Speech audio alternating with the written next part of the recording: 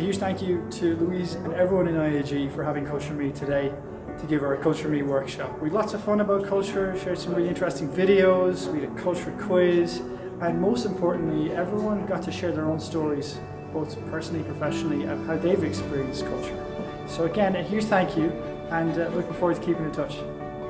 I'm not here today to tell you that culture is important. You're all experienced, seasoned international executives. You know that better than I do. But I am here today to challenge you a little bit, to get you thinking differently about culture and having a bit of fun in the process. So without further ado, this is CultureMee. Close your eyes.